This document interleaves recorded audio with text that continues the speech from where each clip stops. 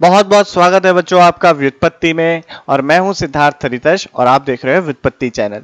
व्युत्पत्ति की आज की पाठशाला में अपना जो रहेगा, चर्चा का विषय, वो रहेगा गौस का नियम खुली सतह है, बंद सतह जिसे हिंदी में तो खुली सतह ही, बंद सतह ही बोलते हैं, लेकिन इंग्लिश में बोलते हैं इसे open surface and close surface जो नेक्स्ट पॉइंट डिस्कशन का रहेगा, वो रहेगा आपका कुल फ्लक्स क्या है? साथ ही साथ कुछ घन कोण की भी चर्चा करेंगे, क्योंकि ये घन कोण उन विद्यार्थियों के लिए बहुत लाभप्रद है जो हमारे आईआईटी जेई तथा नीट की तैयारी कर रहे हैं। शुरुआत का जितनी भी चर्चा रहेगी, मैं नीट और जेई के लिए कॉमन रखूँगा और आपके साथ ही साथ याद रखिएगा बच्चों, नीट की जो तैयारी कर रहे हैं ना अपने लोग, वो अब ये मान के चलें कि आपको मेंस स्तर की तैयारी करनी है। अगर हमारे प्यारे हिंदी माध्यम के विद्यार्थी को हज़ार रैंक के अंदर आना है, एक अच्छा इन आपको मेडिकल कॉलेज में जाना है बच्चों, ज़रूर इस बात को आपको लगेगा कि पाँच दस मिनट, अरे, बर्बाद हो जाएँगे, हो जाएगा। लेकिन वो पाँच दस मिनट आप जब ज़िंदगी के देखोगे ना तो आपको याद आएगा कि कितने लाभप्रद थे। हो सकता है कि आप कई बार वीडियो बीच में छोड़ देते हो, लेकिन आप इस बात को याद रखिएगा कि ये जो आप 10-10 मिनट कहीं और डिवीट हो जा रहे हो, ये 10-10 मिनट अगर आपने ऐसे ही पढ़ाई को लगाए तो आपके और पूरे परिवार के, इस भारत वर्ष के दिन नो में परिवर्तन हो सकता है। अच्छे दिन शायद हमारे लिए कोई राजनेता ला पाए या ना ला पाए, लेकिन हम खुद अपनी, अपने कर्म शक्ति से ला सकते हैं। तो चलिए लेक्चर की शुरुआत करते हैं। सबसे पहला जो बिंदु है, मैं बात करता हूँ कि बंद सतह और खुली सतह क्या होती है। जब से सबसे पहले मैं बात कर रहा हूँ, ओपन सरफेस ओपन सरफेस जिसे बोलते हैं खुली सतह।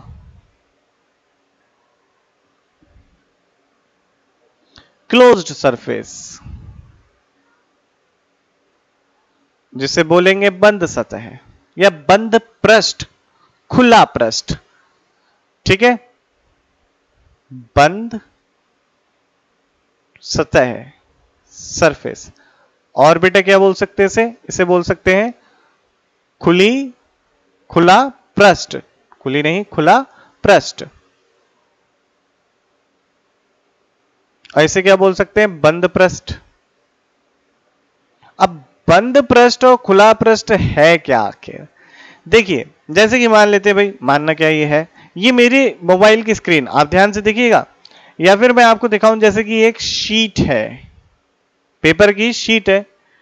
तो आप देखिए कि इस पेपर की शीट के बाउंड्री पे जितने भी पॉइंट एग्जिस्ट करते होंगे वो इधर से तो गिरे हुए हैं, पर इधर से नहीं गिरे हुए या हम कह सकते हैं, ये भाई पृष्ठ खुला हुआ है, इसकी एक सीमा है। अगर हम इस पर चलते जाएँ तो इसकी एक सीमा पर पहुँच जाएँगे। हम वापस दोबारा इस पे नहीं आएँगे। अगर मैं एक तरफ़ से चलना चालू करूँ तो एक कहीं ना कहीं मैं इसकी सीमा पर पहुँच जाऊँगा। तो ये खुला पृष्ठ है। और अगर मैं बंद पृष्ठ की बात करूँ, जैसे मेरे पास एक गोला है, या स्फेयर है, या बॉल है इसकी मैं एक बिंदु से चलूँ और घूमता, चलता जाऊँ चलता जाऊँ चलता जाऊँ चलता जाऊँ, वापिस मैं इसी पे आ जाऊँगा। ये पूरी तरीके से बंद है। इसके सभी बिंदु, कहीं कोई ऐसी सीमा नहीं है। अगर आप इस पर चल रहे हैं तो किसकी कोई सीमा नहीं है। आप उस पर वापिस आ जाएँगे। आया समझ में? तो ये है खुला पृष्ठ और बंद पृष्ठ। पहली बात। दूसरी बात जो बच्चों हमें करनी चाहिए, गौस का नियम समझने के लिए गौस का नियम समझने के लिए क्या है गौस का नियम? अभी देखेंगे कि कुल फ्लक्स का मतलब क्या होता है?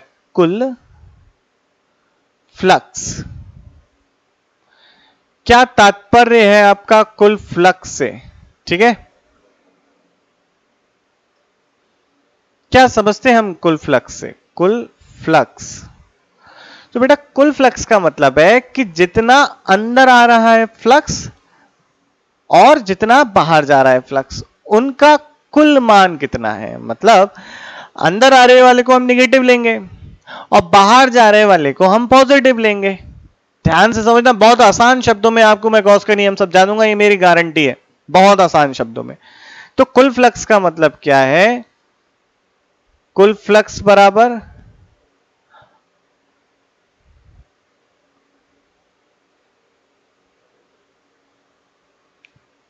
आउटगोइंग फ्लक्स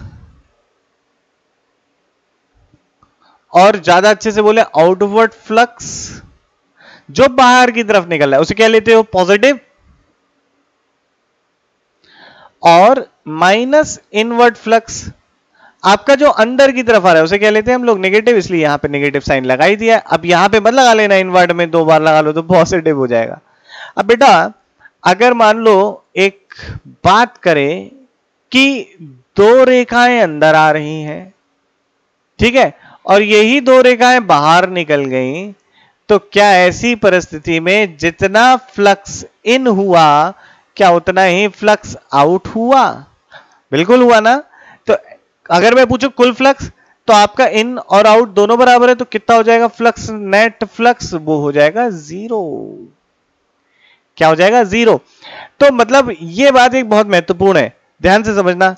अब मैं आपसे पूछूँ कि एक हमारे पास क्लोज्ड सरफेस है। क्लोज सरफेस यानी कि बंद पृष्ठ। और एक यहाँ पर पॉइंट चार्ज रखा है। इस पॉइंट चार्ज की वजह से बेटे जो आपकी फ़ील्ड निकल रही होगी, वो कुछ इस तरीके से निकल रही होगी। ऐसे करके बनेगा, याद करिएगा। याद आया? ऐसे मैंने बताया थे ना फ़ील्ड लाइंस जब पढ़ाई थी आपको, यानी कि वैद्युत बल रेखाएँ जब पढ़ाई थी, ऐसे।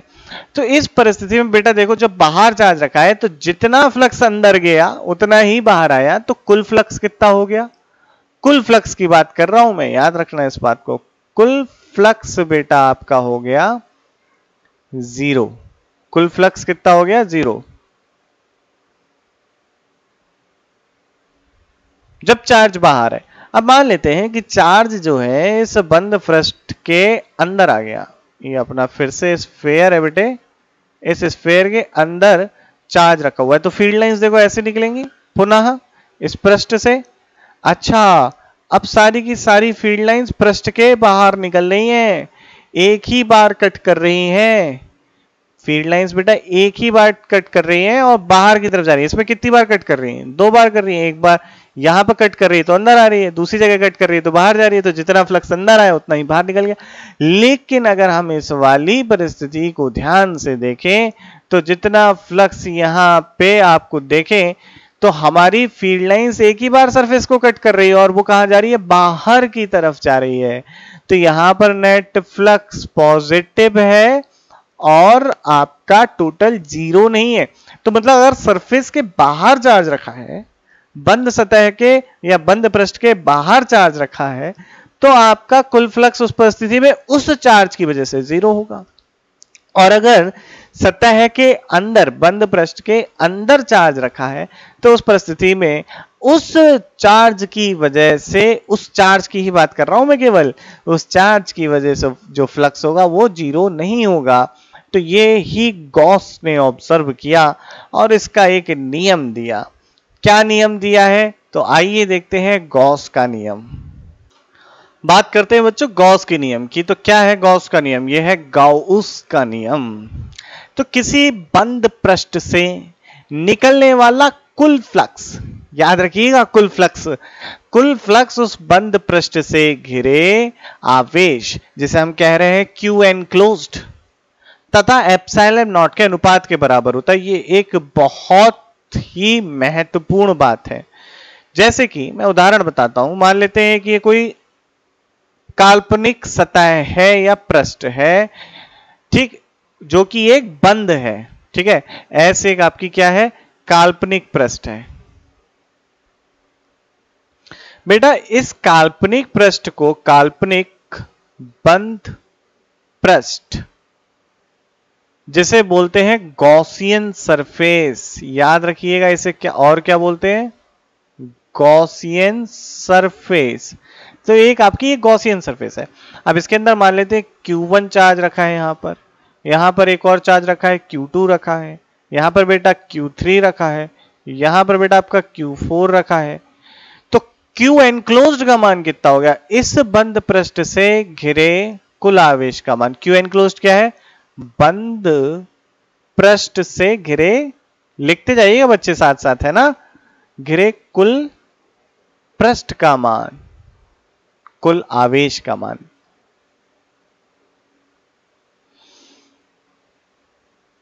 ठीक है? ये क्या हो गया आपका? क्यू एनक्लोज हो गया।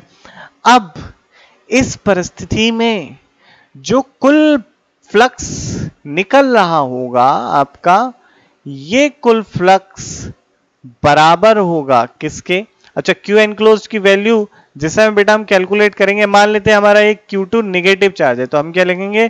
Q one plus q two plus q three और क्या हमारा क्यू फोर एक नेगेटिव चार्ज है तो माइनस क्यू फोर लिखेंगे। तो इसकी वजह से कुछ फ़ील्ड लाइंस अंदर भी आ रही होंगी, जिसको हमने सब्सट्रैक्ट कर दिया। तो हम क्या कर रहे हैं? कुल आउटवर्ड फ्लक्स की बात कर रहे हैं नेट आउटवर्ड फ्लक्स तो ये नेट आउटवर्ड फ्लक्स फाइनेट बराबर होता है q enclosed by epsilon naught ये गॉस का नियम है। ठीक है? आसान है। अब कुल फ्लक्स को किस तरीके से लिख सकते हैं? देखिए फाइन नेट अगर लिखना होता है, किसी बंद फ्रस्ट से निकलने वाला कुल फ्लक्स तो इसे लिखा जाता है ई डॉट टी एस, और ये अपना इंटीग्रेशन है। अब ये सरफेस आपकी क्लोज्ड सरफेस है तो हमें क्लोज बताने के लिए हमें ऐसे लगाना पड़ता है, ये गोल सा इसका मतलब क्लोज्ड है। और किस पे इंटीग्रेट कर रहे हैं हम? एक सतह पे कर रहे हैं तो सरफेस के लिए एस लगा देते हैं। तो ये आ गया। इसको दूसरे तरीके से ऐसे भी लिख सकते हैं e dot d is equal to q q क्लोज by epsilon naught ये भी आपका गॉस का ही नियम है, लेकिन इंटीग्रल फॉर्म में है। ठीक तो ये गॉस का नियम है। आसान है, समझने के लिए कोई डिफ़िकल्ट बात नहीं है। अब बात करते हैं इसके बाद, इसके ऊपर आधारित प्रश्न भी है। प्रश्नों को भी देखेंगे, लेकिन उससे पहले गॉस का नियम का हमें प्रूफ भी देखना है।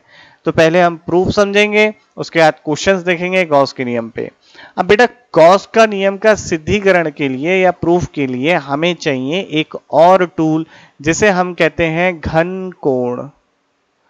घन कोण को बेटा इंग्लिश में आपके बोला जाता है सॉलिड एंगल ये सॉलिड एंगल आपने एनसीईआरटी e के फ़र्स्ट चैप्टर फ़िज़िकल वर्ड वाला चैप्टर यूनिट एंड डायमेंशन में पढ़ा था। ये सप्लीमेंट्री यूनिट होती है, याद है आपको? एंगल के साथ आता है। अगर बेटा हम बात करें कि एक एंगल क्या होता है? तो एंगल हम एक तल में बात कर रहे हैं। ये आर्क के जो अंतिम बिंदु हैं, ये जहाँ पर मिल रहे हैं, ठीक है? तो ये जो बीच का रोटेशन है जहाँ से मैं पहुँच पाऊँगा, घुमाव का नाप हम एंगल से लेते हैं। अगर अब एंगल, ये किसमें एक तल में है। ये द्विविमीय बात हो गई, टू बात हो गई। अगर थ्री बात होती है, इसको ऐसे समझिएगा कि बेटा आपके पास एक सॉकर बॉल है या फुटबॉल है जैसे बोलते हैं? फुटबॉल पे काले सफ़ेद से चक्के बने हुए होते हैं। एक चक्का मैंने कुछ इसी तरीके से यहाँ पर दिखाया है। इस चक्के के ह, अगर हर एक बिंदु को मैं यहाँ पे देखना चाहता हूँ ये थ्री में कितना कोण बन रहा है? तो हम क्या करेंगे? इस चक्के के हर एक बिंदु को अगर मैं लू और मिला दू ठीक? हर एक बिंदु को लू और मिला दू। तो ये जो यहाँ पर कोण बन रही है ना ये जो कोण है इस कोण को मैं सॉलिड एंगल कहूँगा। सॉलिड एंगल का जो माप है वो क्या होगी?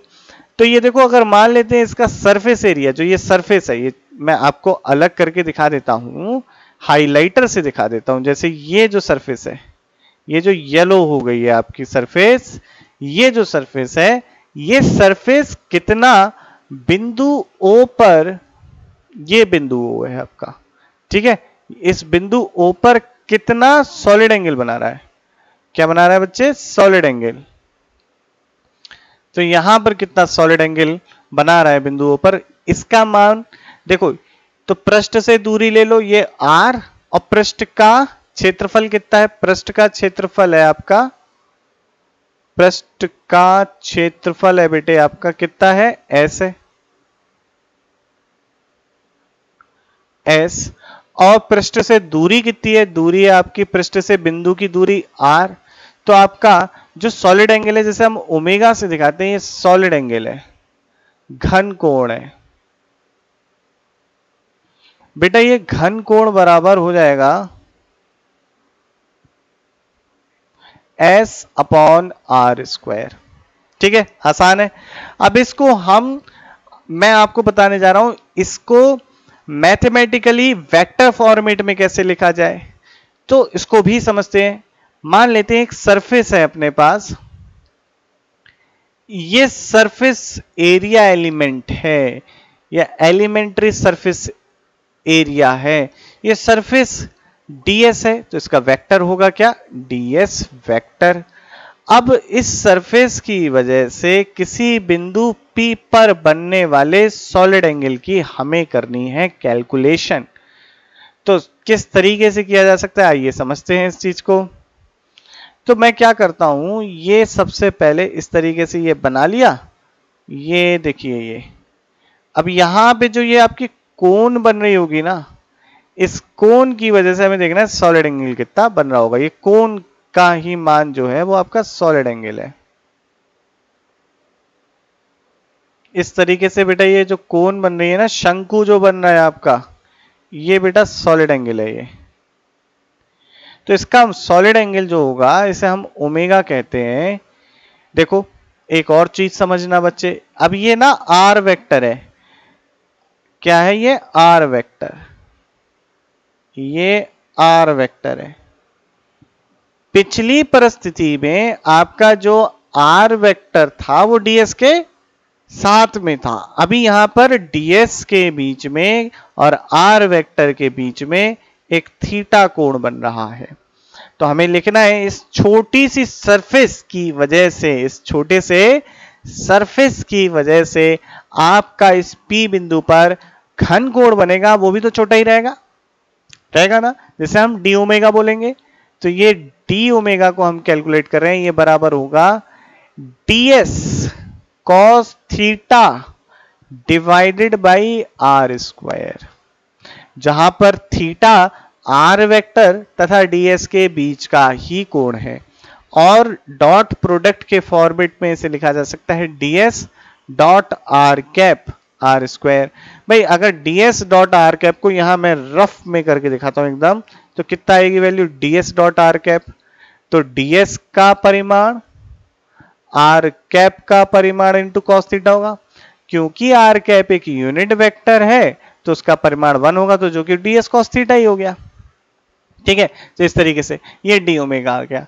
अब बेटा अगर मुझे टोटल देखना है कि टोटल कितना फ्लक्स होगा, पूरी अगर अवहुति सरफेस तो हम क्या कर देते इसका कर देते इंटीग्रेशन सरफेस के ऊपर।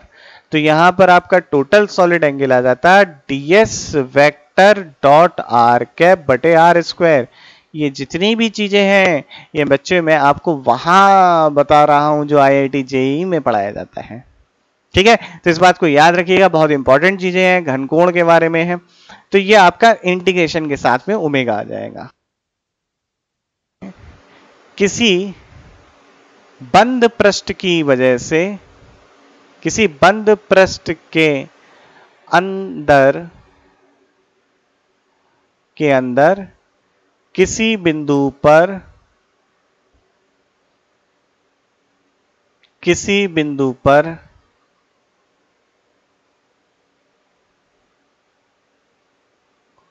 कुल घन कोण के मान की, कुल घन कोण कितना होगा ये जानना है। तो बेटा, आपको याद होगा कि अगर हम सिंपल कोण की बात करते हैं तो उस परिस्थिति में किसी भी आपके जैसे व्रत है, व्रत के केंद्र पर कुल कोण कितना होता है? 360 डिग्री, जैसे आप टू पाई बोल देते हो। इसी तरीके से यहाँ पर हम देखेंगे कि आपका व्रत तो नहीं हो सकता, लेकिन एक गोला है। भाई, यहाँ पे टू डी शेप या थ्री डी शेप की वजह से बात कर रहे हैं ना। तो ये आपका थ्री डी शेप में क्या है? गोला है। गोले की त्रिज्या भी होगी। गोले की त्रिज्या है कैपिटल आर तो इस गोले की त्रिज्या अगर कैपिटल आर है तो इस बिंदु ओ पर इस गोले की वजह से कुल घनकोण कितना बना? तो इसका मान देख लेते हैं। इसका मान जो आएगा, देखिए हमने घनकोण का क्या फॉर्मूला पढ़ा था? S upon r square s यानी कि सरफेस एरिया एस क्या है आपका? सरफेस एरिया एक गोले का कुल सरफेस एरिया कितना होता है बच्चों? फोर पाई आर स्क्वायर, जहाँ पर आर उसकी त्रिज्या है तो हमने ये रख दिया तो ये हमें कितना मिला? फोर पाई चार पाई मिल गई भाई। फोर पाई, जैसे इसकी यूनिट क्या होती है? Steradian. क्या होती है इसकी यूनिट? स्टे रेडियन, याद रखिएगा। तो आपका किसी बिंदु पर कुल सरफेस जो है, कोई बंद सतह सतह के अंदर किसी बिंदु पर कितने का कुल सॉलिड एंगल बनाती है? फोर पाई का। ठीक है? तो ये हमने सीखा। अब हम कुलाम के नियम का प्रयोग करके हम गॉस के नियम का सिद्धिकरण करेंगे। तो जल्दी से अपनी नोटबुक पे हेडिंग डालीजिएगा। गॉस के नियम का सिद्धिकरण। ठीक है? इसे देखते हैं फिर। आइए बच्चों, देखते हैं गॉस के नियम का पुष्टिकरण या व्युत्पत्ति। अब देखिए, अपने पास ना एक बंद पृष्ठ है, जिसे मैं कह रहा हूँ एस ठीक? इस बंद पृष्ठ के अंदर एक बिंदु आवेश क्यू रखा हुआ है। अब गॉस का नियम क्या कहता है कि इस बंद पृष्ठ से निकलने वाला कुल फ्लक्स का मान phi net is equal to आना चाहिए। कितना आना चाहिए? ये आना चाहिए आपका क्यू एनक्लोज जो कि क्यू ही है, बटे एप्सिलॉन नॉट आइए देखते हैं कि ये क्या आता है या नहीं आता है। तो हमें पहले देखना पड़ेगा फ्लक्स। तो एक काम करते हैं, इस छोट, इस पूरी सरफेस का एक छोटा सा भाग ले लेते हैं, जो आर दूरी पे है, और इसको हम कहते हैं, ये डीएस सरफेस एरिया एलिमेंट है। इस डीएस को हम ले लेते हैं, और इसकी वजह से हम देखते हैं फ़ील्ड कितनी आ रही है। ये डीएस सरफेस एरिया एलिमेंट कुछ इस तरीके से है। ठीक है, ये हो गया आपका ई इलेक्ट्रिक फ़ील्ड और डीएसपी कुछ इसी तरीके से रेडियली आउटवर्ड ही होगा। अब इस डीएस एरिया एलिमेंट की वजह से कुल फ्लक्स जो छोटा सा निकल रहा होगा डी होगा। इस डी का मान ई डॉट डी एस होगा। जैसे हम क्या लिख सकते हैं? ई डी एस अब यहाँ पर अगर आप कॉस थीटा लेना चाहें तो वो भी ले सकते हैं और नहीं लेना चाहें तब भी कोई ज़्यादा अंतर नहीं आएगा। तो d phi is equal to ये छोटा सा फ्लक्स जो इस डी एस से निकल रहा है, ये कितना हो गया? ई डी एस अब आप सोचें कि इस आर दूरी पर बिंदु चार्ज Q की वजह से कुल वैद्युत क्षेत्र की तीव्रता कितनी होगी? तो इसे इक्वेशन नंबर वन लिख लेते हैं।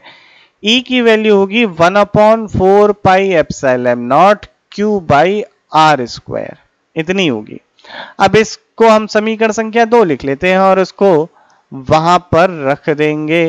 तो कितना होगा? One upon four pi epsilon naught q by r square d s cos theta अब अगर हम आप देखें तो d phi one upon four pi को ऐसे ही रखो और क्यू को ऐसे ही रखो d s upon cos theta by r square की बात की जाए तो इसका मान कितना होगा? याद है, अभी थोड़ी देर पहले सॉलिड एंगल हम लोगों ने पढ़ा था, उसमें लिखा है। तो बेटे, ये d phi is equal to q upon four pi epsilon naught और ये हो जाएगा डी ओमेगा अब हमें देखना है कुल फ्लक्स तो हमें करना पड़ेगा इंटीग्रेट अब क्यू तो कांस्टेंट है तो हमें डी ओमेगा का भी इंटीग्रेशन करना पड़ेगा। अब किसी बंद पृष्ठ की वजह से कुल कितना डी ओमेगा आता है। तो उसकी वैल्यू है फोर पाई तो फाइव इज़ इक्वल टू क्या आ जाएगा? Q upon four pi epsilon naught into four pi four pi से four pi cancel q by epsilon naught भाई आ गया। तो गॉस के नियम का हमने कर लिया सिद्धिकरण। तो ये आ गया phi net is equal to q by epsilon naught तो बच्चों आज के लेक्चर में इतना ही रखते हैं। अगले लेक्चर में होने वाले हैं बहुत सारे क्वेश्चन गॉस के नियम के ऊपर तो ज़रूर नेक्स्ट वीडियो को देखिएगा। तब तक के लिए जय हिंद। मस्ती से पढ़ते रहिए, सीखते रहिए और जुड़े रहें वित्पत्ति के साथ। चैनल पर पहली बार आए तो ज़रूर सब्सक्राइब कीजिएगा। वीडियो पसंद आई तो लाइक भी कीजिएगा। Bye bye